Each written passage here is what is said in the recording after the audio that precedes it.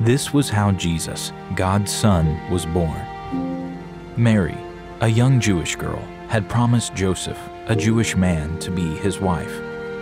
While still a virgin, she became pregnant through the power of the Holy Spirit. Joseph was a godly man, full of integrity, and he didn't want to disgrace Mary. When he learned of her pregnancy, he secretly planned to end their engagement. While he was still debating with himself about what to do, he fell asleep and had a dream from God. An angel of the Lord appeared to him and said, Joseph, do not hesitate to make Mary your wife, because the power of the Holy Spirit has given her this baby. She will give birth to a boy, and you are to name him Jesus, for he will give his life to save the world from their sins. This happened so that what the Lord had spoke through his prophet would come true. Listen, a virgin will be pregnant, and she will give birth to a son, and he will be known as Emmanuel. During those days, the Roman emperor ordered the first census be taken throughout the empire. So Joseph and Mary left Nazareth and journeyed to their hometown in Judea, to the village of Bethlehem. When they arrived in Bethlehem, Mary went into labor, and there she gave birth to a baby boy, Jesus. After wrapping him in strips of cloth, they laid him in a manger, since there was no room for them in the inn. In the fields there were shepherds, keeping watch over their flock by night. An angel of the Lord appeared to them, and the glory of the Lord was all around them, and they were afraid. The angels said to them, Do not be afraid, for I have good news of great joy that will be for all people. Well, I want to share this weekend on Christmas, and specifically, I want to take the messages that Jacob Pastor Jacob has been sharing uh, out of Psalms 130. And so I'm going to go over and try not to say some of the things he said. And then, of course, I need to fix all the things he messed up. I'm just kidding, just kidding. But this is a very special time for my family and I. And it was 30 years ago, approximately, that I had to weigh in weeks in sharing on Christmas and having to deal with all the controversy that surrounds Christmas and helping families navigate through the commercialism and materialism and secularism and all those things, but to really see the power of the birth of Jesus and, and what we celebrate at Christmas. And so I have, I have some personal convictions about this that I try to stay away from and not impose on anyone. But I really believe that we need to understand the miracle of Christmas and that we have to understand how this is not an ordinary birth that we are celebrating. This is God becoming flesh. This is Emmanuel, God with us. And this event caused a chain of events that has literally changed eternity and changed, if you will, uh, history itself. And so when I talk about Christmas, I'm not talking about the date, I'm talking about the event, and I'm talking about the purpose of Christmas. I, personally don't celebrate a date, I celebrate a person, and this person and the miracle of this person's conception, the miracle of God becoming one of us. How do you even communicate that? I mean, I, there's nothing we can give you as an illustration to feel the the power of that and the love of that, that God loved us so much that He became one of us, listen, and entered into our sufferings, human suffering. A lot of people think that God is the author of all this evil in our world and all this death and sickness and pain, and God has nothing to do with with any of that. And others think God doesn't care and why won't He do something? I'm here to tell you that He did something 2,000 years ago. He became one of us and suffered with us. And if we will suffer with Him now, we will reign in eternity forever and ever and ever. God, God identified with every part of the human experience except sin except sin. He never sinned, but he experienced brokenness of heart. He's lost a father or a stepfather, and he knows that pain. He knows the, the, the, the pain of a family being pursued and your life being under threat and you having to flee for your life. On and on we could go with the beauty of this.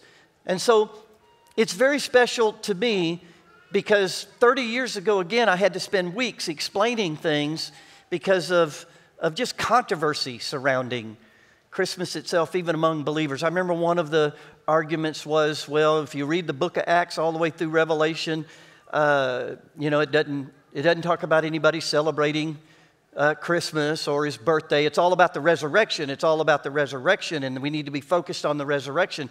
Hey, I'm, I'm all in on the power of the resurrection, and that's a powerful focus, but there would be no resurrection without the birth of Jesus.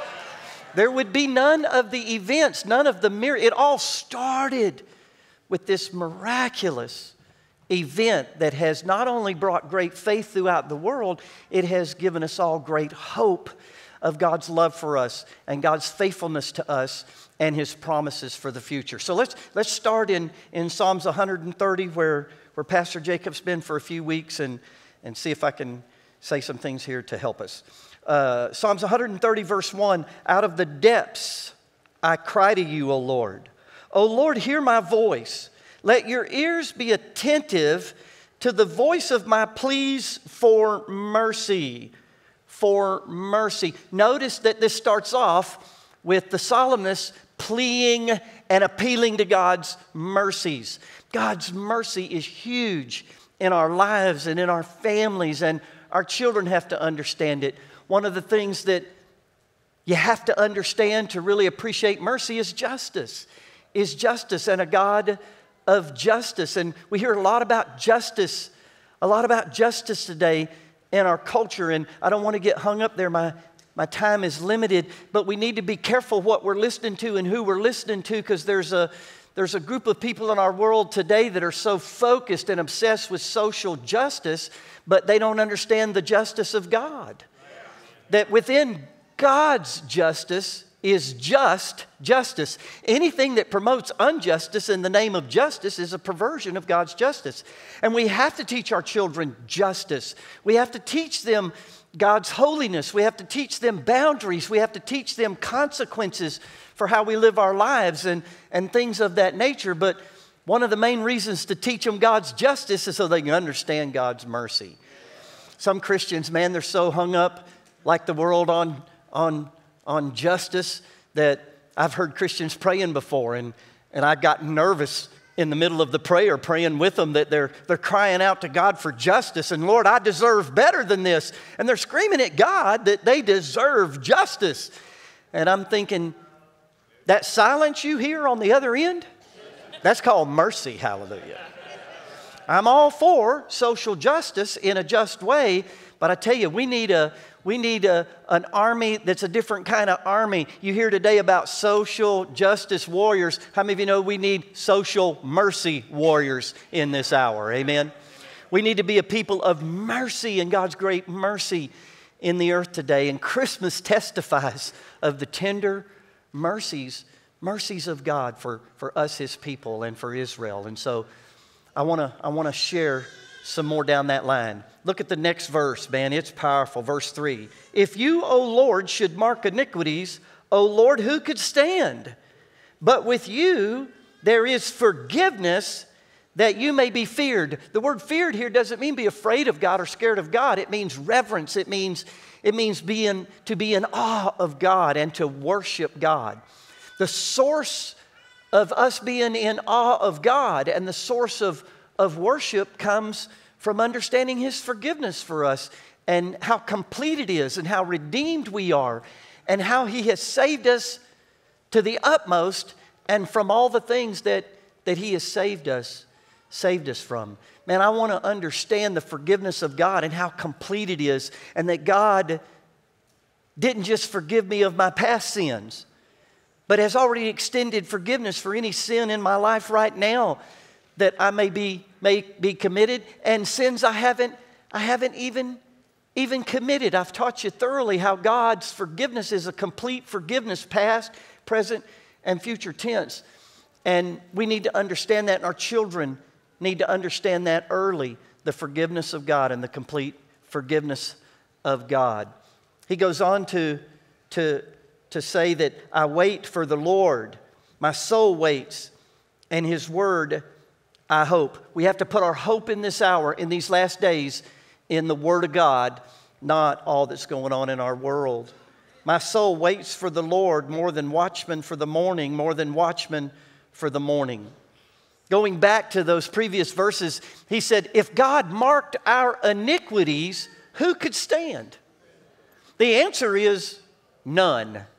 None of us could stand if God held our, our sins against us. None of us could stand if God held our shortcomings against us. None of us could stand independent of His forgiveness or stand independent of redemption.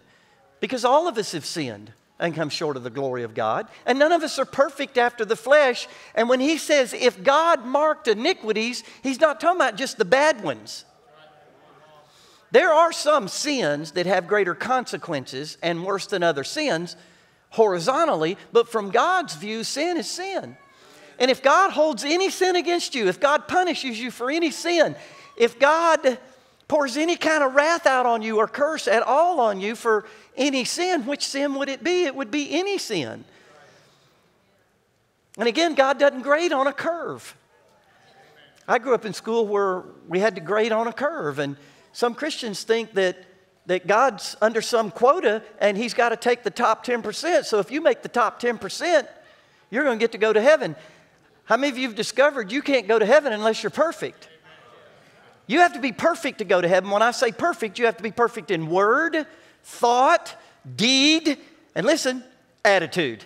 Did I get everybody? and you had to be perfect all the time. So either you have to be perfect in word, thought, deed, or attitude, or you have to have a Savior, a Redeemer. I opted for the Savior, the Redeemer, amen. I, I really want to be holy and I endeavor to live a holy life, but I fall short in word, thought, deed, or attitude. Now, don't misunderstand me. I don't fall near as short of as you guys do. I'm just kidding. But I need to understand forgiveness. I need to understand redemption. I need to put my hope in the Lord, not myself. My hope in the Lord and His righteousness by faith, not my own, my own righteousness. And this is what is being celebrated in this psalm is the forgiveness of God and the hope we have in the, the faithfulness of God. I love the, the next two verses. O Israel, hope in the Lord. For with the Lord there is steadfast love, and with him is plentiful redemption, and he will redeem Israel of how many of her iniquities? All. And all means all. Again, every time I talk about past tense sins, present tense sins, and future tense sins, religious people really get uncomfortable. And I, I can remember years ago, especially, I'd be teaching on the redemption of Jesus and the complete forgiveness we have, how we're forgiven of all sin. He's already extended forgiveness in this man, Jesus, of past, present, and future tense sins. And people just have a fit. How, how can God forgive a sin before you, even, before you even commit it? Well, how many of you know that God forgave you at the cross 2,000 years ago? all of your sins technically are future tense, you're future tense. And so if God can't forgive a sin before we commit it, then we're up a creek without a paddle, as, as my daddy used to say all the time. Hallelujah. And, and I'm thankful for the full, complete redemption of Jesus. That when Jesus entered this world, when the immaculate conception in the, in the womb of a, a virgin girl, teenage girl, what faith Mary had. One of the reasons I like celebrating Christmas is honoring Mary in the, pri- in the proper way. I don't uh, honor Mary in worshiping her or, or bowing down to her or praying to her, but I do honor her.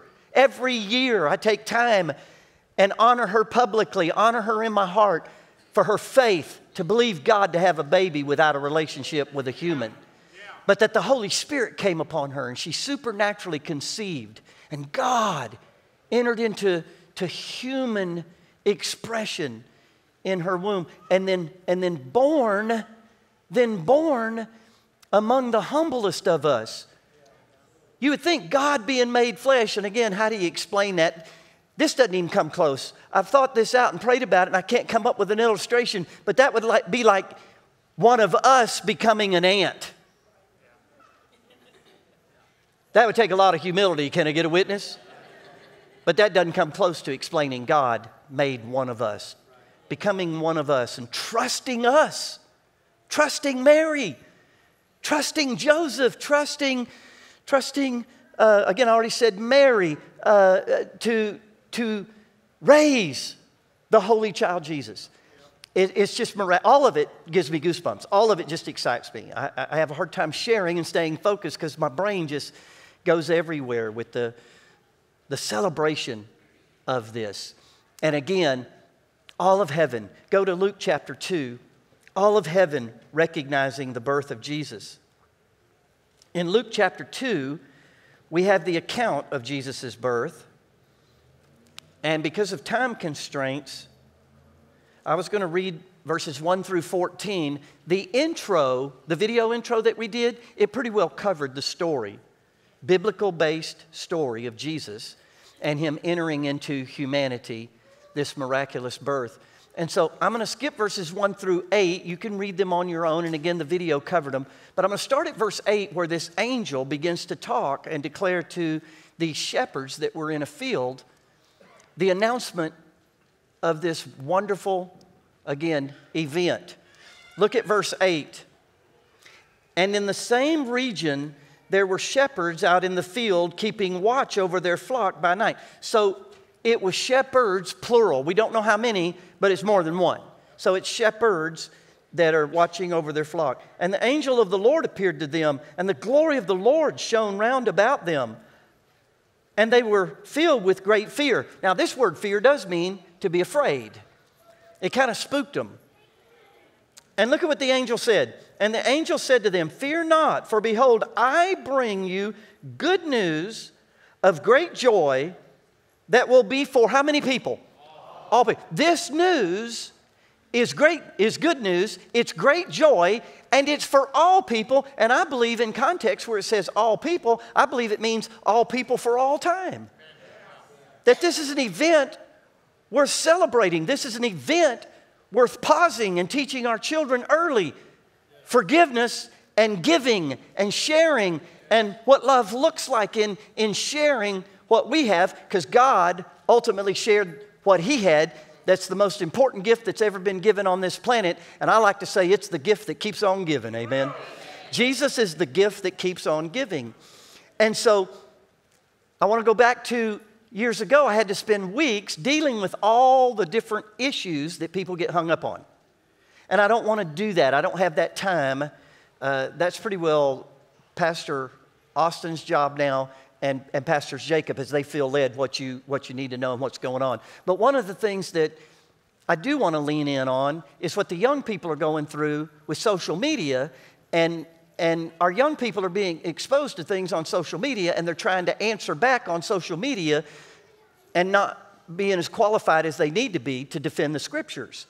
And so, one of the things that the young people are constantly hearing is again, we shouldn't celebrate, break Christmas. It's a, it's a pagan religion. And so, we need to just stay away from it totally. Well, wow. Uh, again, you, you have a right to your own beliefs there, and I'm not trying to persuade anyone. I'm just telling you where I'm coming from in this. If celebrating Christian is a pagan religion, why is it pagans that are trying to cancel it? If it's such a great pagan religion, why aren't the pagans promoting it and celebrating it and, and attacking us? No, the pagans are the ones that are trying to eliminate it from our culture and eliminate it from our, from our homes. And secondly, if it is a pagan religion. I wish we had more pagan religions that you hear about Jesus in the malls. Amen. It's the only time of the year you hear about Jesus everywhere you go, so I'm voting for more pagan religions. Now, one of the things that I shared years ago in detail, I'm just going to highlight it, is out of verse 14. We need to get there, but before I get there, the angel from heaven said, Behold, I bring you good news. Everybody say good news. And great joy. Say great joy. Then the angel announced the birth of Jesus. Guess what the gospel is called? The good news. A part of the gospel is the birth of Jesus. Again, they talk about how it's not talked about from Acts all the way through the Bible, but the resurrection is the focus. But in the book of Acts, chapter I believe it's chapter 2 when they all prayed. It might be chapter 4. Somewhere in there it's written that they prayed in the name of the Holy Child Jesus. I'm the only person I've ever heard pray like that, right out of the Bible, that in the book of Acts they prayed in the name of the Holy Child Jesus. So Jesus as a child has a significance that wasn't eliminated after the resurrection. There wouldn't have been a resurrection without it. So let's read on and then look at verse 14. For unto you is born in the city of David a Savior who is Christ the Lord. Notice that Jesus is not Savior and Christ after the resurrection, but He's Savior and Christ in the manger. That's pretty powerful. And this will be a sign for you. You will find the babe wrapped in swaddling clothes and lying in a manger. We even flower that up. How humble is that? The King of Kings born in a barn a barn. There was no room in the inn, which was a type of house that had extra rooms that they rented out. And, and they had to stay in a, a barn. And we're not talking about a barn like we have, most of us, that's halfway decent barns. And he's, he's li- he lies in a manger, meaning a wooden trough with hay in it that animals have been eating. We're all shook up over COVID 19. COVID means animal. COVID means animal. Animals had been eating out of that trough and drooling in that trough, and that hay had animal drool. Talk about COVID. and Jesus born in the mid of COVID 1.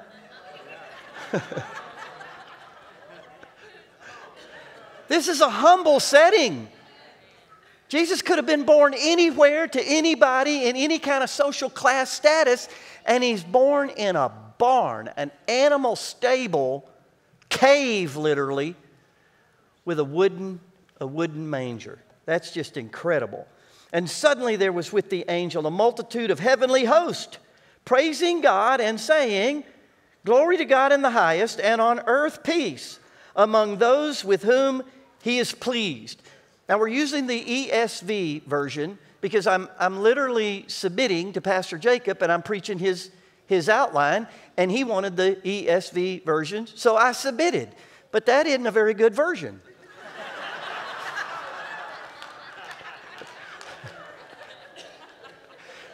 The King James is actually better in verse 14 than that version. The King James Bible says, Glory to God in the highest. Listen, peace on earth, goodwill toward men.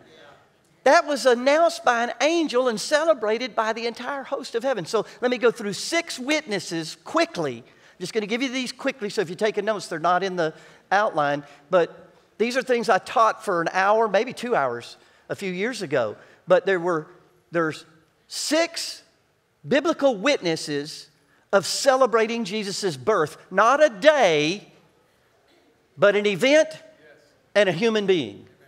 God made flesh. So the first one that I just read, and I'm gonna, I'm gonna break verse 14 down into three, three sections. The first one is glory to God in the highest. What did the angel say to the shepherds and how did the angel act about the birth of Jesus? The angel gave God glory in the highest, and when the angel that spoke to the shepherds gave God glory, gave, gave God praise for the birth of Jesus, the Bible says all of heaven, heaven's host, praised God for the birth of Jesus. So I don't know who you're running, at, running around with and who you hang out with, but I'm going to hang out with the angel that said, Glory to God in the highest, not for his resurrection, though we should give glory for that, but for his birth. And all of heaven, I don't even know what that means.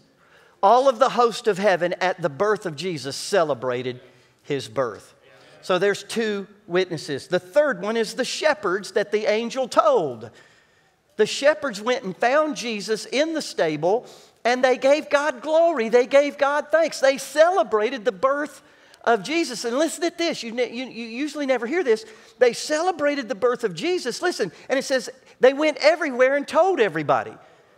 They couldn't have been telling everybody about the resurrection. They were telling everybody about the birth of Jesus and that this was the beginning of the end for Satan. This was the beginning of the end for darkness. This was the beginning of the end for the sufferings of the world that would ultimately, yes, end in the resurrection of Jesus Christ and the new creation. But they celebrated, the shepherds celebrated the birth of Jesus. Number four, the wise men, the magi, gave gifts to Jesus and they praised God for the birth of Jesus. They praised God for his life. Pastor, Pastor Austin is going to share on the Magi, I think next weekend, correct? He's going to share on the Magi. You need to be here for that because you don't hear a lot about the Magi, and he's got some really good things God has shown him about these, what we call wise men. It's translated wise men in the King James Bible, but in other translations, the ma- Magi. And these were, these were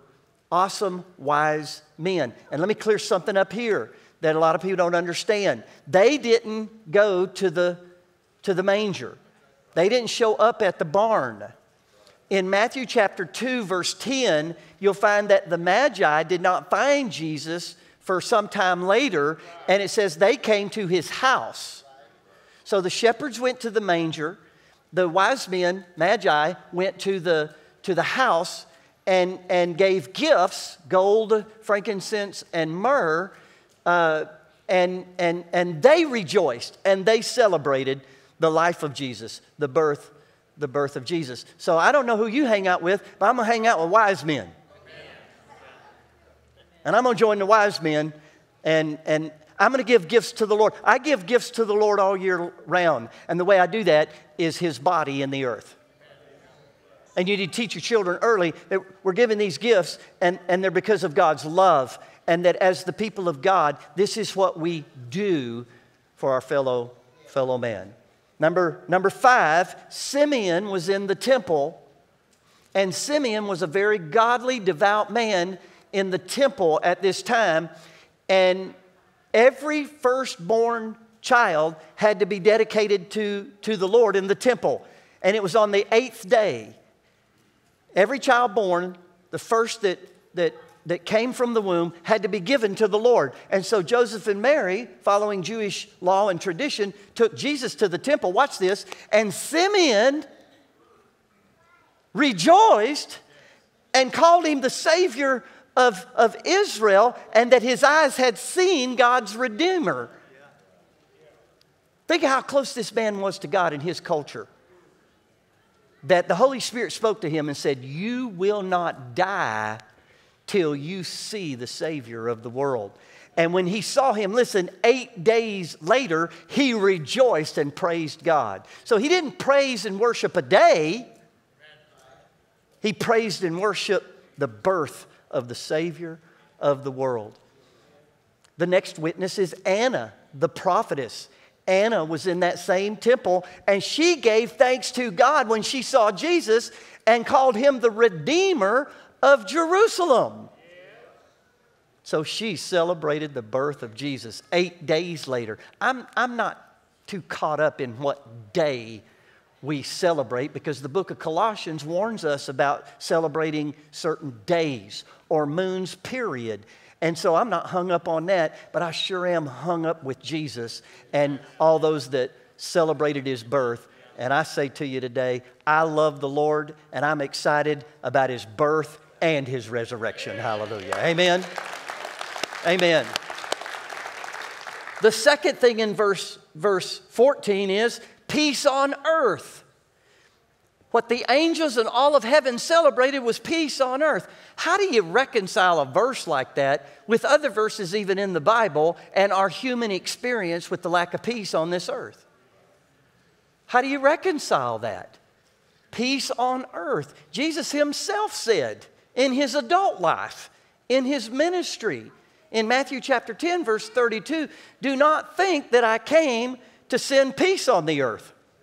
I didn't come to send peace on the earth, but a sword. I come to set at variance man from father, daughter from mother, daughter in law from mother in law. And then he explains the whole thing when he talks about in the next few verses being his disciple and that in being his disciple there will be a division come. There will be a divide that you have to love jesus more than family love jesus more than material gain love jesus more than you fill in the blank. And other scriptures as well, where Jesus even told us that in the last days there would be wars and rumors of wars. But let not your heart be troubled about these things. How do you reconcile all of heaven and this angel saying, Peace on earth? How many of you know the peace that is on earth is between God and man? God is not angry with us any longer. God is not mad at us anymore. God's not punishing us. Sin is still deadly, sin is still dangerous, it has consequences, but God's not the one punishing us for any sin. God will never be angry with us again. God will never turn on us again. He'll never fail us again. There were three things in Psalms 103 that he said in that last verse. One was his steadfast love, plentiful in redemption, and then all of our sins being forgiven. Aren't you glad God's love is steadfast in your life? All of us have experienced, maybe the kids haven't yet, but if, if they grow up to be adults, all of us in this life experience a temporal love from somebody, a conditional love from somebody, a situation where you're loved and then you mess up and you ain't loved no more. Many, unfortunately, have gone through the, the, the heartbreak of a divorce where there was such love there, but it wasn't a steadfast love, it was a temporal love, it was a exhaustive love. And they experience the pain uh, uh, of a divorce. I'm so glad God's love for me is steadfast because, man, I've messed up and I've failed and I fall. But I, I, I love knowing I can jump up with all confidence and run straight to Him, knowing that He's plentiful in redemption. Remember that phrase? Plentiful. Aren't you glad God's redemption it and piddling little? It is just so piddling little. It'll cover this, it'll cover that. It's kind of like an insurance policy. Amen. And yet God's God's redemption is plentiful and then he has forgiven how many of our sins?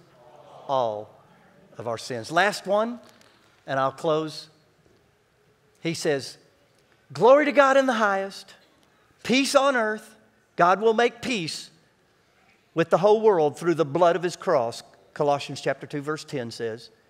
And then he says goodwill toward men. I want to encourage you and I want to encourage you to teach your children and to pound it in their head. God doesn't will anything but good for you. Then we have to teach them in this world, we're going to experience bad. We're going to have trials. We're going to have tribulations. There will be persecutions. There, there will be opposition. But you never, ever need to doubt God's will for you. And listen, He has no ill will for you. I'm telling you, I can't tell you how many times, saints, I've been in a hard place personally. Our church has been a hard place. And what I'm saying to you is so alive in my heart and so important that God, this looks terrible. It feels terrible. I don't, I don't know where you are. It's not right what's happening. But I know this you will nothing but good for me. When Jesus came into this world, all of heaven, and that angel promised, God has no ill will now and will will nothing but good for you. So even in bad places, Romans chapter 8, we know because we love God and we're called according to his purpose, he's going to work it together for our good. God's going to bring good out of bad, but he's not the author of any of this bad. Amen. God's not killing your kids. Amen. Amen. Man, that's exciting to me. So I pray that you have the best Christmas ever. Amen.